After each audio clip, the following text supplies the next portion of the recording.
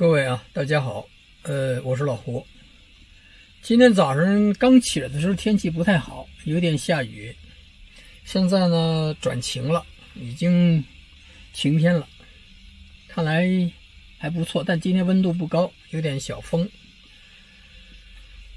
嗯，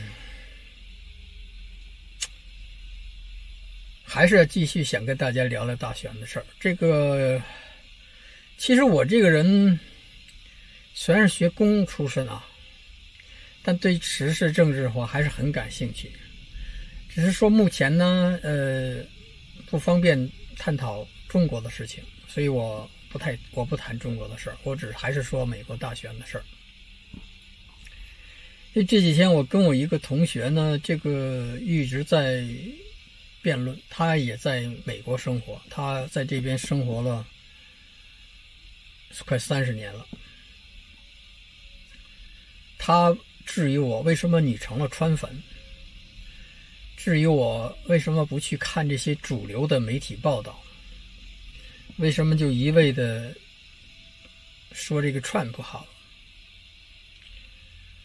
我说呢，我们这个年龄的人呢，不是说轻易的就能说粉谁就粉谁。这个是说川普呢，是因为我看了这么这么这么长时间了吧。其实奥巴马当政的时候，我也很，当时我很喜欢，我很欣赏奥巴马，特别是他演讲的时候，他的演讲真的是能打动人。但是时间久了以后，你发现这个人就是一个 talker，就是能讲，真的是他很能讲，很能煽动，打动人心。他知道你爱听什么，他去说什么。但是这个人的做事。零八年他上台接的小布什的摊子，那时候美国的经济零八年是经济危机嘛，是谷底。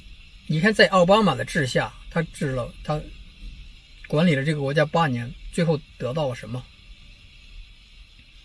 那么川普到目前为止将近四年，马上四年，除了这个疫情的影响，在去年以前一九年、一七、一八、一九三年的经济都很好。这个不用谁来编，也不用媒体来去宣传，大家从股市就可以看得到嘛。那股市的情况，股市的表现跟奥巴马的年代怎么表现的？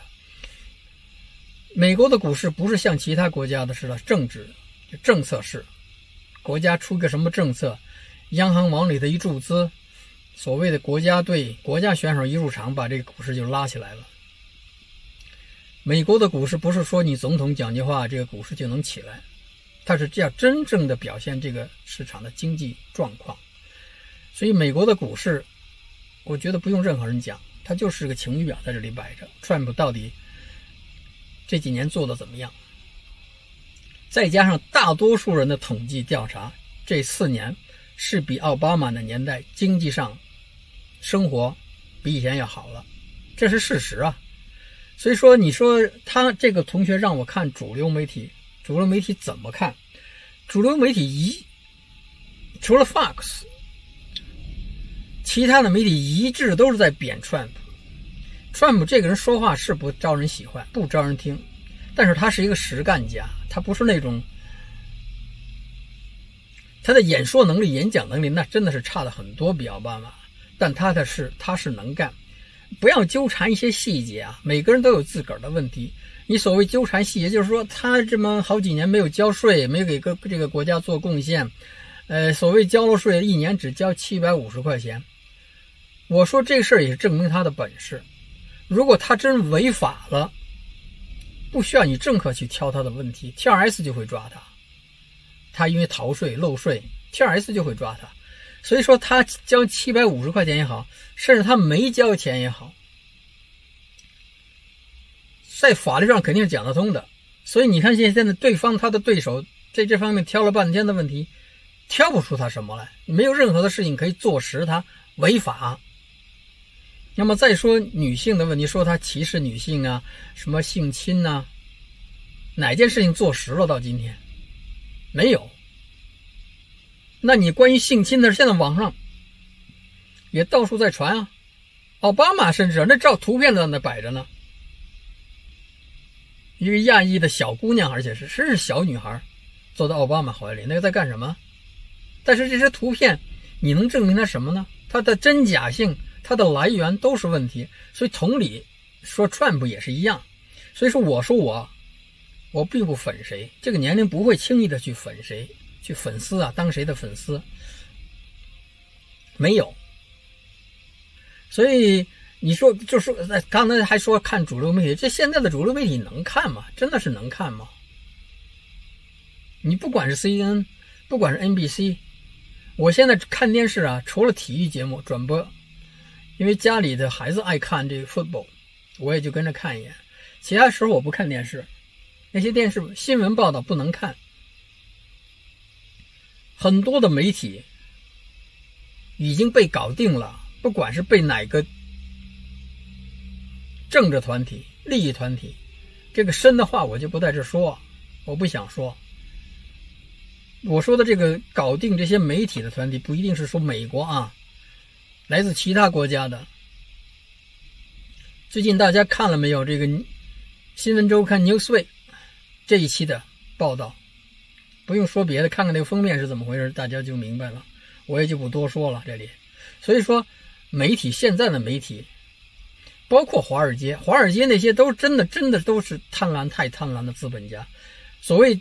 经济全球化是那些人是获益者，普通的百姓在经济全球化当中，不管是美国人还是哪里人，到底获益了多少，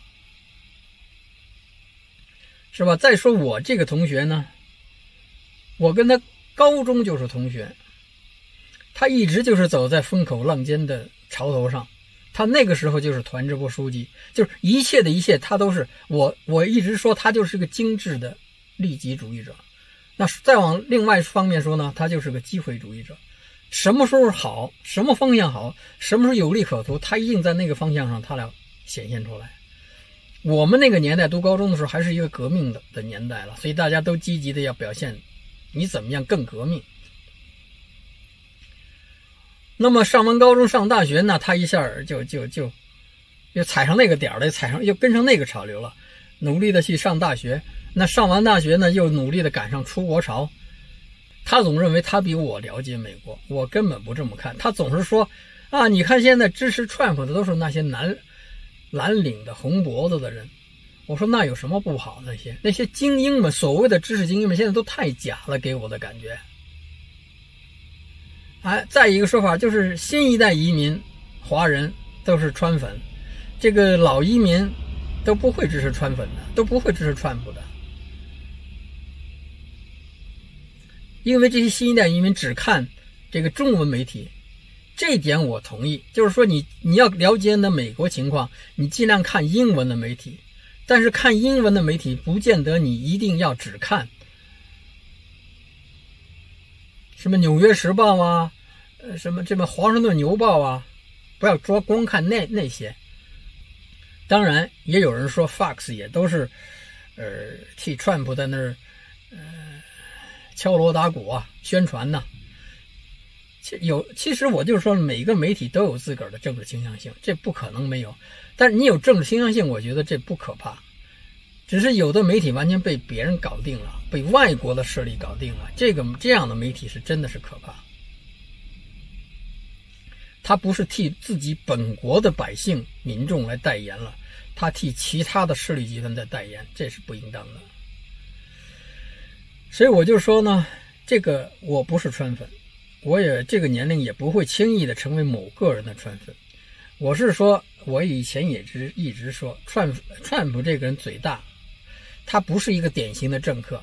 每一个人的政府都有自身的问题。你说，你说现在这个，你就说这两个人政府比吧，奥巴马跟米歇尔，那光。从川普为了国家，光为了这个国家，他自个儿减减少了多大多少费用开销？从从白宫里边，包括他太太的这个第一夫人的这些办公人员的开销，包括他自个儿的办公人员的开开销。那再往前讲，这些从那个 Bill Clinton 上来，到奥巴马上来，到 Trump 上来，这些前任的总统下台以后，哪个不是发的都不行了？比你你。奥巴马上来之之前是是个什么？也就是一个普通的律师的那种身份生活了。那比今天的他这个人的身价那低的太多了。这个当了总统以后，为什么一下身价抬高了这么多？那 Bill Clinton 那更是那样了，就是你当了这些总统以后，还是个人的利益捞了太多了吧？川普现在是怎么样呢？从他上来以后，他个人的身价只只是往下掉，没有再往上升了。就说这个人他的，你说他从财富上来讲，从个人家庭上来讲，从他的子女培养上讲，他当了总统，起码目前没有任何的获益，不像拜拜登，不像这个这个这个这个奥巴马，更不像这个 Bill Clinton，当了总统以后，当了这么。这么这么这样的国家的第一把手以后，给多人捞了多少？这么又给个人捞了多少？他因为上台以后，他在跟中国的利益他切断了多少？是吧？所以说，这个不是当不当他的粉丝的问题。你我们不是仅仅是是一个成年人，特别是我，不是一个简简单的是一个成年人了，是一一把年龄的人了，看了太多的事情了。所以说，不是说简单就可以当谁的粉，不当谁的粉。另外呢，我还是说，如果可以投票，积极的出来投票。虽然我们华人发出的声音不是很管用，毕竟我们是少数民族，而且就这几百个人，可能不会管太多的用。但是你发声总比不发声好，就是你要发出你的声音来，你会慢慢的引起这个国家对你的注意。如果你不发声音，觉得我们是少数。我们发不发声无所谓，那这个国家永远没有你的位置。你既然有了这手里这一票，你为什么不去行使你这一票的权利呢？你不像在其他地方，你根本没有这个权利，是吧？总有人说我们出来了，我们也就是个二等公民。不管是几等公民，我们手里有这张公民的投，有着一个投票的权利啊。你当一等公民的时候，你做国家的所谓的主人的时候，你有这个权利吗？你没有，是吧？